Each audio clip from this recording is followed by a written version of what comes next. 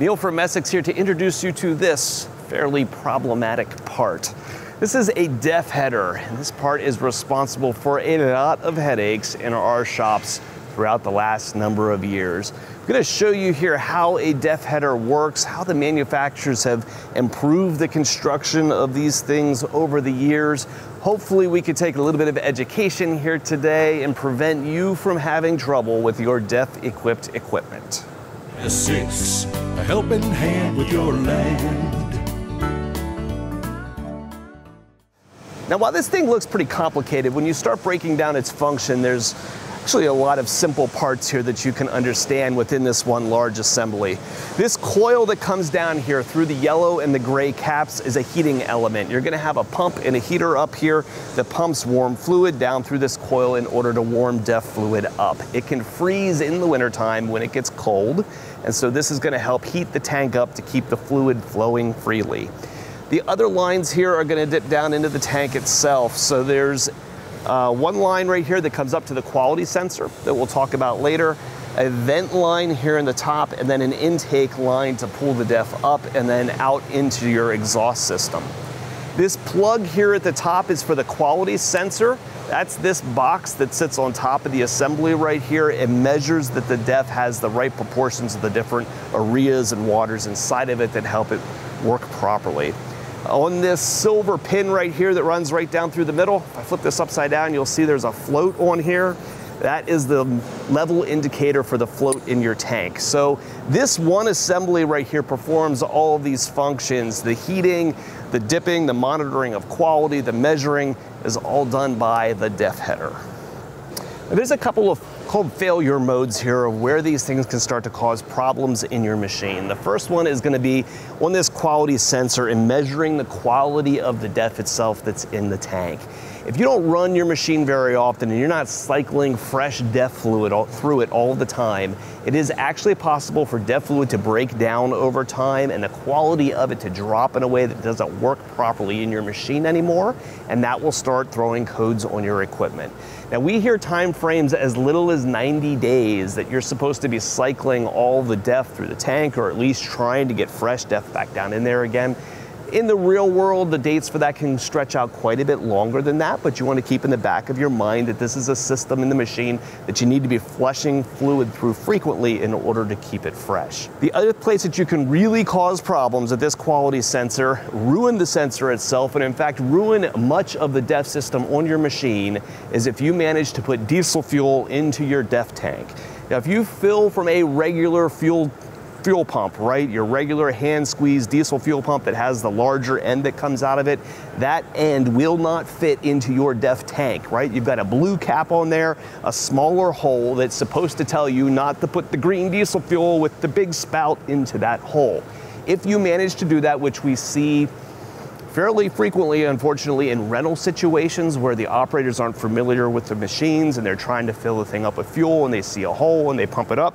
Um, that diesel fuel can come and it will ruin this DEF sensor even with small amounts of diesel fuel. It can go a lot further than that, though. The plastics and the hoses that are used in order to handle the the DEF, the urea that's in your DEF tank, none of them respond well from diesel fuel. The sensor is just the tip of the iceberg. So when we get into a system like this that's had diesel fuel put into it, we're often flushing tanks, sometimes replacing them, flushing and removing the rubber lines that go through up to the rest of the machine's exhaust system in order to get that diesel fuel out. It can ruin the whole system very quickly. That's why you see more and more of these now come through with covers over top of the DEF tank that makes it very, very obvious that you shouldn't be putting diesel in there.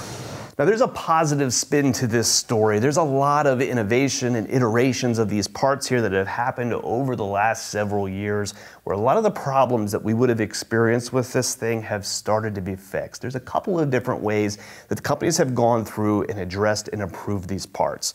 Now, I should be clear that this isn't like a Kubota problem, right? I was talking beside an SVL95 here earlier. Every machine that's going to have a DEF system on it is going to have these functions. And by and large, many of these companies are probably using very similar parts or even parts from the same suppliers, right? Because a lot of this stuff comes out of like automotive industry suppliers a lot of the time. Um, there's early failure points that we saw on these that have now been fixed, okay? So right up here on the very top is this little box, and that's where the actual DEF quality sensor is. There's an electronic circuit board that's inside of this. Early on, what was happening is that ammonia gas was getting up through the inside of this thing, up into the top of this. And that ammonia gas was corroding the circuit boards, and then these quality sensors would stop functioning. Now, as we've learned a little bit more about that, they've changed the way that they seal these things up now, and that ammonia gas can't get from the tank up into the sensor as easily. So the potting, you know, the plastic material that sits over top of those electronic boards has been changed now to tolerate that ammonia much better. We haven't seen a failure of a DEF sensor at all in this last iteration of this part. It has been perfect so far. So the potting is different. And then another change that was made as well was a software change to your equipment. So this is what your DEF tank looks like, right? I am not an artist, but you've got a tank with this guy that comes down inside of it, okay? Now, previously, we did an update here to the computer software that runs on your machine, and it used to be that you'd have a level sensor down in here, and then when the level of that DEF would get low, it will turn on a light on your dash telling you that the tank needs to be filled. Now, the issue with the ammonia is that the more surface area that you've got for a DEF to splash around this tank, the more of it can evaporate off and turn to ammonia inside the tank. So a, a, software update was done so that the level for your tank now reads differently. And previously where that light, that fill light would have turned on when the level was good and low, the fill light is now closer to up here. That causes people confusion sometimes because you can go just fill your tank up with DEF, go out and run for a little while, and what the world, this light is turning on telling me to fill it up already.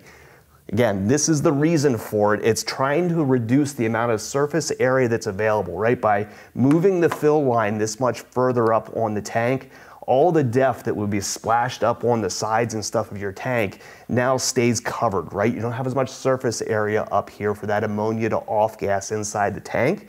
So ultimately, you've got less of that ammonia connect, collecting up here at the top of the tank and being able to impact those sensors. So the ammonia issue was addressed in those two ways. One in software by moving this level up, one in potting this a little bit differently. And that's how we get now working reliable DEF quality sensors. Tier 4 technology rolled out in 2008. And despite being around for 15 years now, there remains quite a lot of confusion around what is allowed to come out of that tailpipe. The government has different regulations for what is allowed to come out in different horsepower classes. Most of the equipment that you see around me here is under 75 horsepower and does not require DEF fluid. It's not treating those nitrous oxides that come out of the tailpipe that that DEF fluid is addressing. And so you will not find a DEF header like I'm showing here on any equipment under 75 horsepower. So over 75 horsepower, you're going to need DEF fluid on your engine and you're going to have some kind of DEF header assembly. And that is regardless of the manufacturer's equipment that you're looking at, your on-road trucks, your heavy duty off-road, whatever, is all going to use DEF fluid. Now between 75 and 25 horsepower and change, there's some decimal places in here because these numbers are actually measured in kilowatts, you're gonna need to treat soot. And so you're gonna find a diesel particulate filter or a DOC a diesel oxidation catalyst, one of those two technologies on every diesel engine between 25 and 75 horsepower.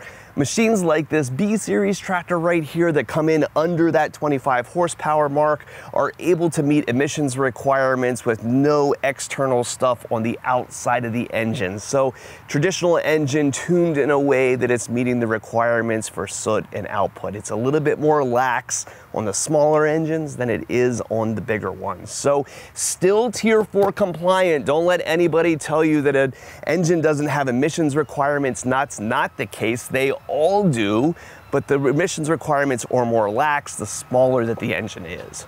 So this is where the value of good dealer support and buying your equipment from manufacturers who stand behind their product becomes really important. We've seen four iterations now on this part getting it right, and I can now stand here on video and tell you that we have yet to see one of these things fail, and they've been wildly more reliable than any DEF system that we've seen in the past. And we have gone back now and updated every machine that's had these old failing parts on them with this new version, right? And that's the value of good dealer support. When we're coming out, we're updating equipment where our manufacturers are spending the money in order to go through, re-engineer these parts, install new ones on your equipment. Makes us proud to be able to sell good stuff from good companies that support their product. For me talking to our service department here today, none of my service managers could remember any of our customers getting a bill to replace one of these things for anything but maybe travel time while our guys were on the road. That's not covered by warranty. But companies have stood up and taken care of these things and made them right. I'm proud to be able to support a whole bunch of companies that do that. So if you're shopping for a piece of equipment, if you've got parts or service needs for a machine you've already got, give us a call here at Messick's. We're available at 800 222 3373 or online at Messicks.com. We'll talk about the doodad here. Uh, hold on. I explained that completely wrong for the third time. We'll start here by